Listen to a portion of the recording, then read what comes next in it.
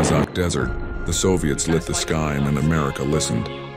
On this day, on November 21, 1965, the Soviet Union carried out a major test at the Semipalatinsk range in eastern Kazakhstan, one of many Cold War experiments used to advance long-range delivery systems and high-altitude technology.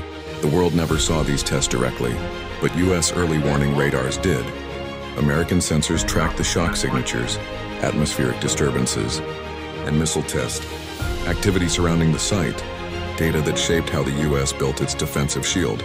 Each event influenced the design of long-range radar networks, the hardening of air defense systems against extreme conditions, the development of early anti-missile concepts like Nike Zeus, Sentinel and Safeguard, and ultimately the architecture of modern missile defense.